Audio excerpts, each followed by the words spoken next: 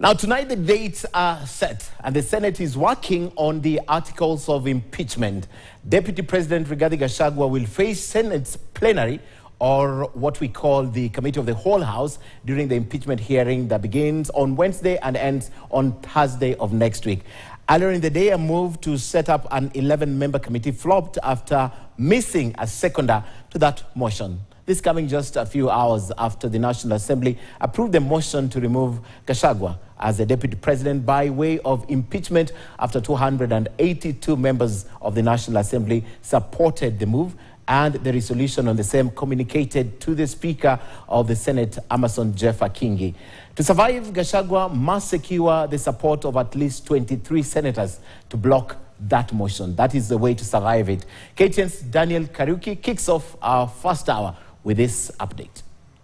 Lawful directives of the county government. Motion sponsored by Kibwezi West Member of Parliament Mwengi Mutuse was overwhelmingly voted in the National Assembly.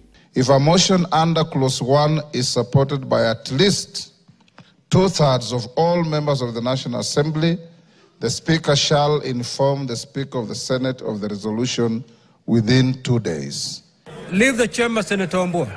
And just a few hours after the vote, Speaker of the National Assembly communicated the resolution to Senate Speaker Amason Kingi. The Senate expected to determine Deputy President Rigathi Gachagua's fate within 10 days. I have directed that this matter be heard within two days. Once we see the documentation and the list of witnesses, and it becomes obvious that we cannot conclude this matter within two days, we have Friday.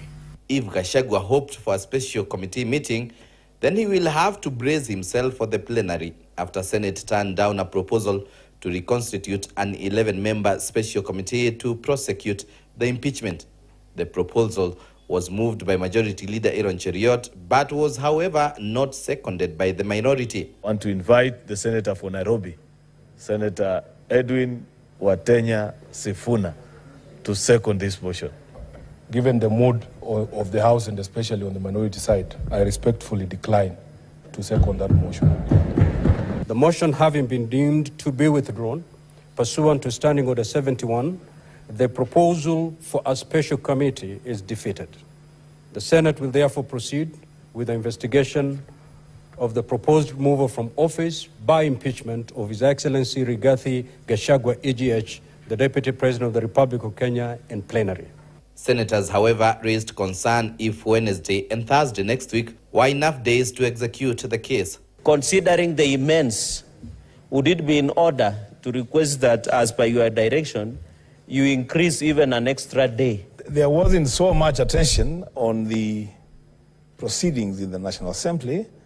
A lot of people saying, let's wait for this matter to go to the Senate. One thing I want to assure the country is the Senate is going to do justice in this matter.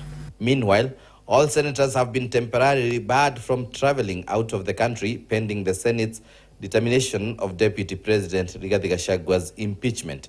Daniel Kariuki, KTN News, at the Parliament Buildings, Nairobi.